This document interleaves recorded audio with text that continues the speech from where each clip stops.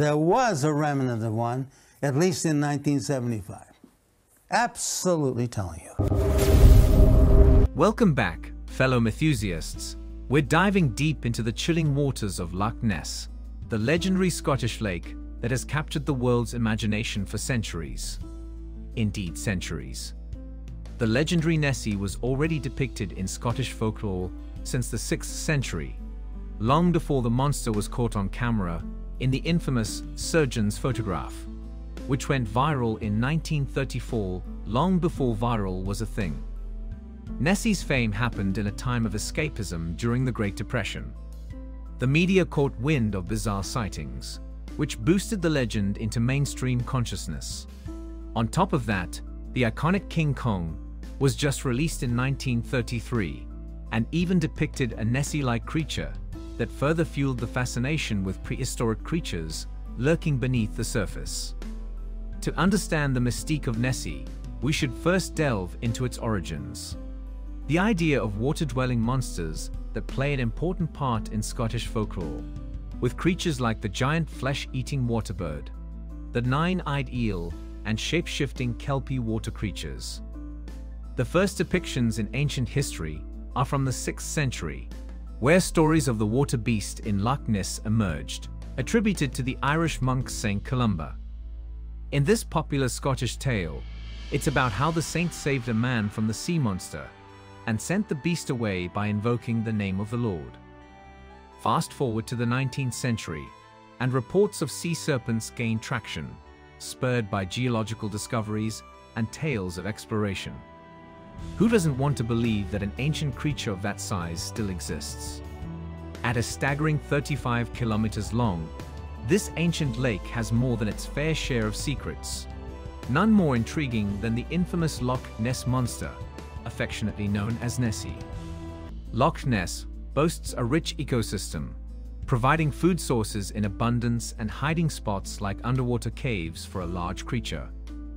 But does this mysterious creature really roam the depths, or is it merely the stuff of folklore? Probably that's why in 2023 the largest Nessie hunt was organized in 50 years. In this large search operation, drones with infrared cameras flew over the lake, a hydrophone searched for unusual underwater noises, and volunteers posted at various vantage points. Hundreds of enthusiasts joined the largest search for the iconic long-necked dinosaur carryover in more than 50 years. The legend takes shape. In the age of advanced technology, Nessie enthusiasts turn to science to uncover the truth. DNA analysis, sonar scans, and extensive studies were conducted to shed light on the mystery. Recently, modern sonar scans have detected unexplained large underwater objects that move in ways inconsistent with known aquatic species. The scans reveal something moving of a large size. However, each discovery seemed to raise more questions than answers. Could giant eels or other unknown creatures really explain the sightings? Tales and hoaxes. Over time, the monster was spotted occasionally by locals and tourists, alone and sometimes in groups. Eyewitness testimonies from individuals of varying backgrounds and professions continue to emerge, lending credibility to the existence of something extraordinary lurking beneath the water. I've seen a large unidentified object. I've fished here since I was a, quite a young boy, and I've never seen anything like it. They came right out of the water in front of me. It must have been, it's difficult to say, but I would say 25 to 30 feet, and at the highest point, about five to six feet out of the water. As sightings piled up, so did the theories. Was Nessie a dinosaur, a giant eel, or something else entirely? The Loch Ness Monster, in all its mysterious glory, sparked debates that spanned decades. But amidst all this, hoaxes also surfaced, casting doubt on the authenticity of certain claims. Still, believers persisted, arguing that Nessie could be a hidden survivor from a bygone era. Here you see a credible scientist, the late MIT scientist Robert Rines in 2001 in a convincing interview with 60 Minutes. Um, you are a distinguished physicist, engineer, lawyer, and you are sitting here telling me that there's a dinosaur in this lake. Not quite. I'm saying there's a remnant, of, there was a remnant of one, at least in 1975. Absolutely telling you. So what keeps the legend of Nessie alive? Could it be the desire for the unknown, the yearning for a world that still holds secrets beyond our grasp? The fact remains that we've only scratched the surface of the Loch Ness mystery. Diving into the attraction of the Loch Ness Monster, the scientific community attributes sightings to hoaxes and misidentifications. Cryptozoologists contribute with a unique focus to the mysterious creature.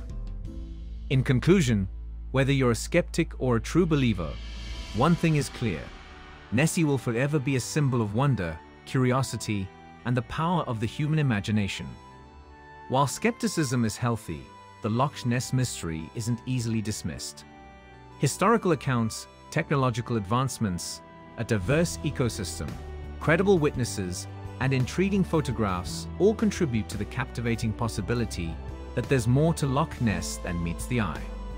Remember that sometimes the magic lies in not having all the answers.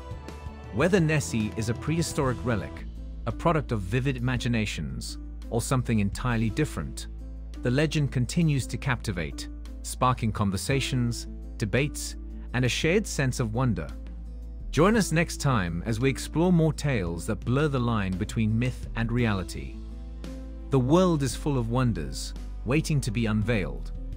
Subscribe to our channel and see you next time. Keep exploring. Until then, keep your eyes open and your curiosity alive.